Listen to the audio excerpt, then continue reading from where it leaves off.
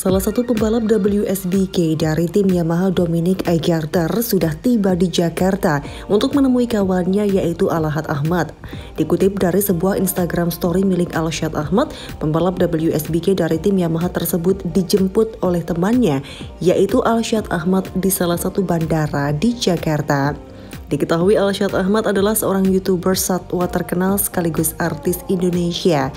Sejak WSBK tahun 2021 lalu, kedekatan Alshad dan pembalap Yamaha tersebut memang sudah diketahui oleh publik. Sebelum menuju sirkuit Mandalika, rupanya pembalap tersebut bertemu dulu dengan sahabatnya tersebut di Jakarta.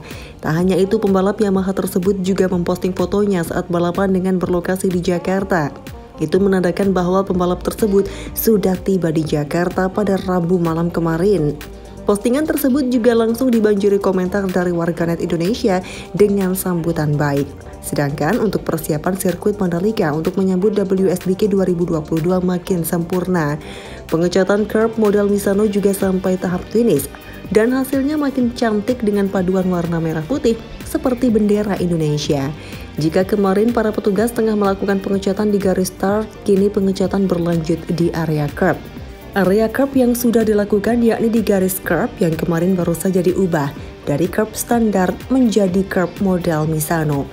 Nah, area tersebut yang semula masih berwarna beton kini dicat menjadi makin cantik dan mewah. Curb ini dicat dengan warna merah putih bagaikan bendera Indonesia.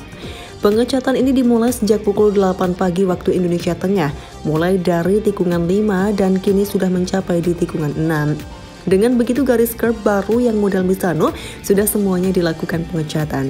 Nampak warnanya pun begitu lebih cerah dan tajam daripada warna curb yang lain. Sekedar informasi saja, pengecatan ini dilakukan oleh tim Road Grip.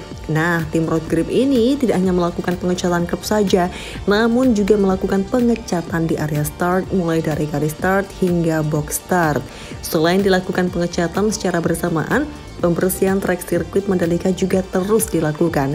Pembersihan ini tidak hanya disemprot air saja namun menggunakan air deterjen dan dilakukan pembersihan menggunakan alat canggih.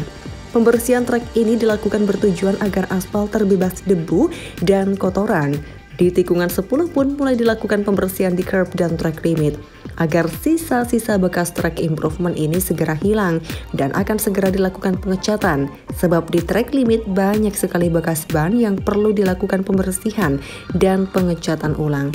Apalagi tikungan 10 posisinya berada di dekat Bukit 360. Tentu Bukit 360 yang menjadi salah satu ikon di sirkuit Mandalika. Tentu di area tersebut perlu disempurnakan semaksimal mungkin.